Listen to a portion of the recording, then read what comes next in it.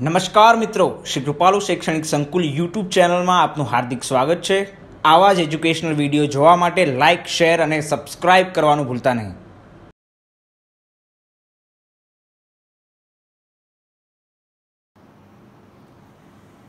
નમસ્કાર વિદ્યાર્થી મિત્રો.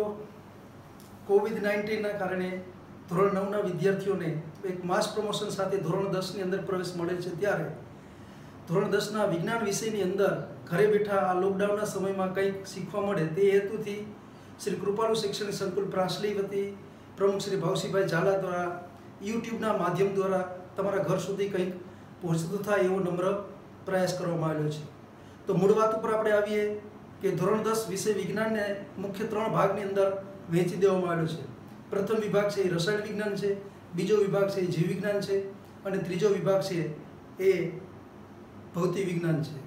તો પ્રથમ વિભાગની અંદર રસાયણ વિજ્ઞાનમાં મુખ્ય પાંચ ચેપ્ટર મૂકવામાં આવે છે.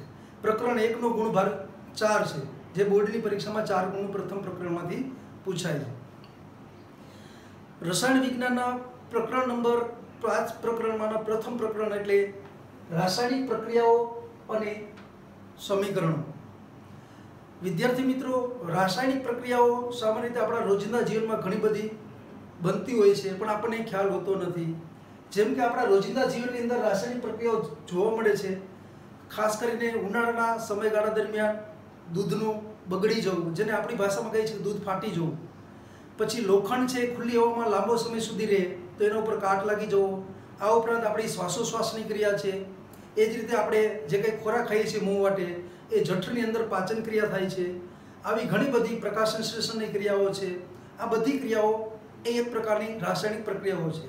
ઘણી પ્રક્રિયાઓ ઝડપથી થતી હોય છે. ઘણી પ્રક્રિયાઓમાં પ્રક્રિયા થવા માટે ઘણો દાખલા કે આપણે ખોરાક ખાઈએ છીએ તો લાંબા ગાળાની પ્રક્રિયા છે. લોખંડ ઉપર કાટ લાગવો એ પણ એક લાંબા ગાળાની રાસાયણિક પ્રક્રિયાઓ છે. આવી ઘણી બધી પ્રક્રિયાઓ આપણા જીવનમાં જોવા મળતી હોય છે. ત્યાર પછીનો બીજો ટોપિક આપણો આવે છે રાસાયણિક સમીકરણો.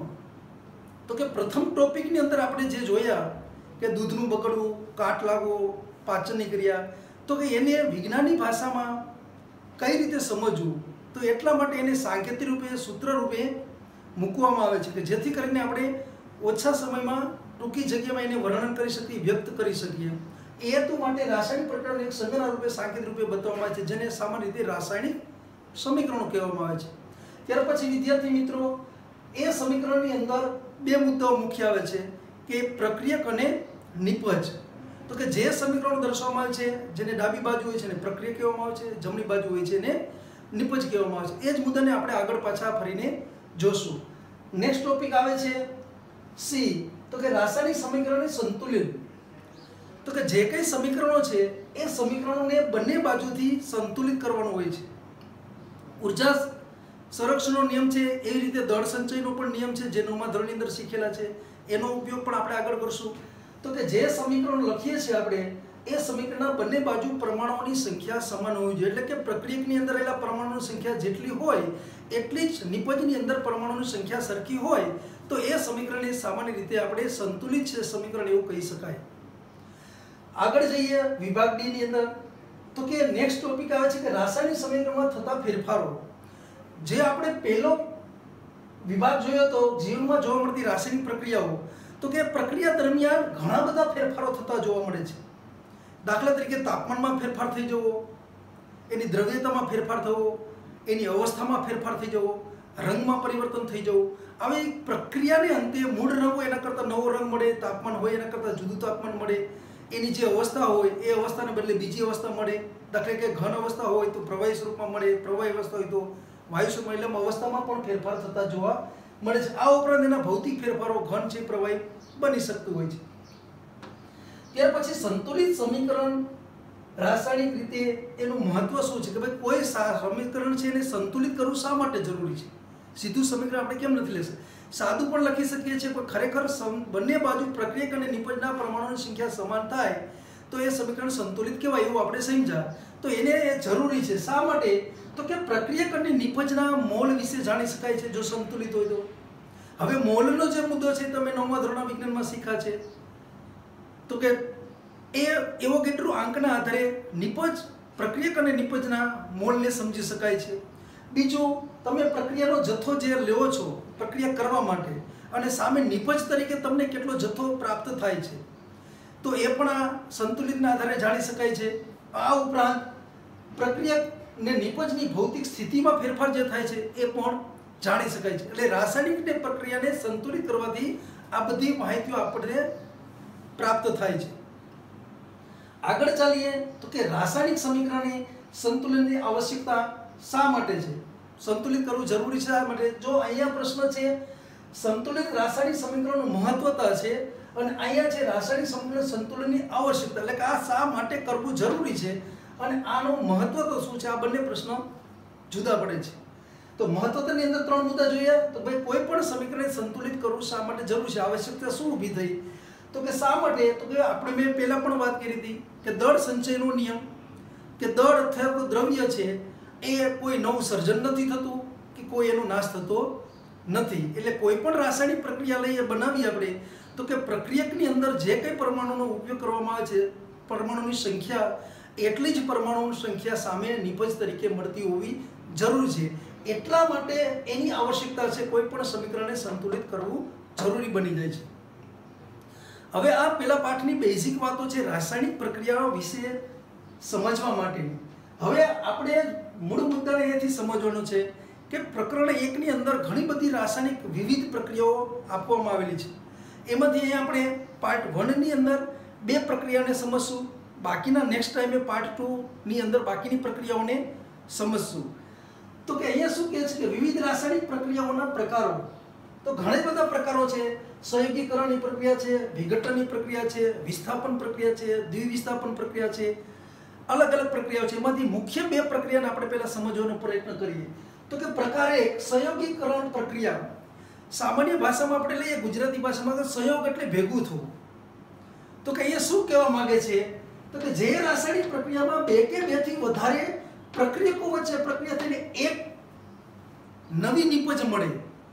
તો એને સંયોગિક પ્રાણ પ્રક્રિયા એટલે કે જુદા જુદા દાખલા કે અહીંયા મેં સમજવા માટે મૂક્યું છે. જેમ કે એ વત્તા બી, તો એમાં આપણે એ બી નામનો એક પદાર્થ મળે છે. અલગ અલગ તત્વો કે પદાર્થો વચ્ચે પ્રક્રિયા થઈ અને ભેગા થઈ અને એક નવો જ પદાર્થનું નિર્માણ થાય છે. એને આપણે રાસાયણિક સમીકરણ દ્વારા સમજવાનો પ્રયત્ન કરીએ તો દાખલા કે કાર્બન વત્તા ઓટો તો એમાંથી આપણને મળે છે સીઓ ટુ એક જ નિપજ તરીકે પદાર્થ પ્રાપ્ત થાય છે. વિદ્યાર્થી મિત્રો, અહીંયા ખાસ એક ધ્યાન રાખવાનું છે, કોઈ પણ રાસાયણિક સમીકરણો લખો, ત્યારે એ કઈ અવસ્થામાં છે એ લખવું ખાસ જરૂર છે. દાખલા કે ઓક્સિજન છે જી એટલે ગેસ સ્વરૂપમાં મૂળ ત્રણ અવસ્થા છે. ઘન, પ્રવાહી અને વાયુ અને જલીય સ્વરૂપ છે. તો આને સામાન્ય રીતે આપણે સોલિડ કહેશું, આને આપણે લિક્વિડ કહેશું, આને આપણે ગેસ કહેશું અને આને આપણે એકવા તરીકે કહેશું. એટલે જે સમીકરણ તમે લખો છો, એ સમીકરણની અંદર જે તમે પ્રક્રિયા કરવા માટે પદાર્થ લો છો, પ્રક્રિયક તરીકે, અને સામે નિપજ મળે છે કઈ અવસ્થામાં મળે છે, એ બોર્ડની પરીક્ષામાં લખવું એ કમ્પલસરી છે. એટલે અહીંયા આપણે જોયું પેલું કે સહયોગીકરણ પ્રક્રિયાને એક્ઝામ્પલ તરીકે કે કાર્બન અને ઓક્સિજન બે તત્વો મેં લીધા પ્રક્રિયક તરીકે, તો એમાં નિપજ તરીકે CO2 મને પ્રાપ્ત થાય છે. તો આ પ્રક્રિયાને સહયોગીકરણ પ્રક્રિયા. ખાસ ધ્યાન રાખવાનું, વચ્ચે જે તીર કરીએ છીએ, તીરની ડાબી બાજુ છે, એને પ્રક્રિયા કહેવામાં આવે છે અને તીરની જમણી બાજુ છે, એને નિપજ તરીકે ઓળખવામાં આવે છે. એટલે કે પ્રક્રિયામાં ભાગ લેનાર એને પ્રક્રિયા કહેવાય અને ભાગ લીધા પછી પ્રોડક્ટ તરીકે, નિપજ તરીકે ઉત્પાદન થાય, એને આપણે નિપજ કહીએ છીએ. હવે આ પ્રક્રિયાની અંદર છેલ્લે મેં લખેલું છે ઉષ્મા.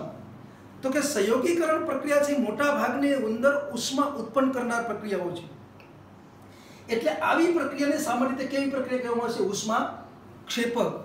કોઈ પણ બે તત્વો વચ્ચે પ્રક્રિયા વચ્ચે પ્રક્રિયકો વચ્ચે પ્રક્રિયા થશે, તો સાથે અંદરથી ગરમી ઉત્પન્ન, ઊર્જા રૂપે, ઉષ્મા રૂપે ગરમી રૂપે આપણે પ્રાપ્ત છે માછે સંયોગીકરણ પ્રક્રિયા છે, એ ઉષ્મા ક્ષેપક પ્રક્રિયા છે. ત્યાર પછી રાસાયણિક પ્રક્રિયાનો પ્રકાર નંબર આપણે બે જોઈએ. તો કે બીજો પ્રકાર શું કહે છે? વિઘટન પ્રક્રિયાઓ. આનાથી ઓપોઝિટ છે. આપણી ભાષામાં કહીએ તો સહયોગી અને વિયોગી. સંયોગી એટલે ભેગું થવું. બે હતા, એમાંથી ભેગું થઈને એક બને છે. વિયોગીમાં શું થશે? વિઘટન એટલે છૂટવું પડશે. તો કે શું કહેવા માંગે છે વ્યાખ્યા? કે એક જ પ્રકારના પ્રક્રિયકને ગરમ કરવાથી, જો એને ગરમ કરવો પડે છે, બહારથી આપણે ગરમી આપીએ છીએ. પહેલામાં શું થતું હતું? ગરમી ઉત્પન્ન થતી હતી. અહીંયા ગરમી આપણે આપીએ છીએ. તો કે ગરમ કરતા એક કે તેથી વધુ નિપજ મળે છે.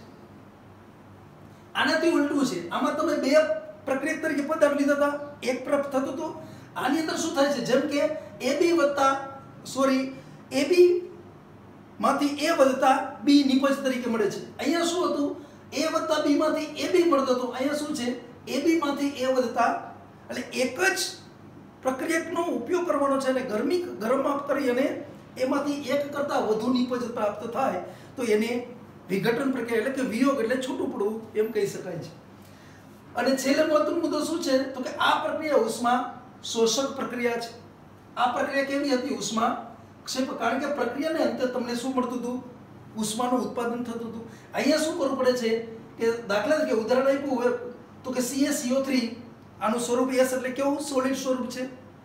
એને શું કરવું પડ્યું? મારે બહારથી ઉષ્મા આપવી પડી માટે અહીંયા મારે બતાવવું પડશે. તીરની ઉપર ઉષ્મા લખવાની છે. અથવા તમે અહીંયા બાજુમાં પણ લખી શકો છો. અને આ પદાર્થને પ્રક્રિયકને ગરમ કરવામાં આવે છે, તો એમાંથી બે નિપજ મેળવી આપણને C A O carbon oxide, કે કેલ્શિયમ ઓક્સાઇડ અને CO2 કાર્બન ડાયોક્સાઇડ.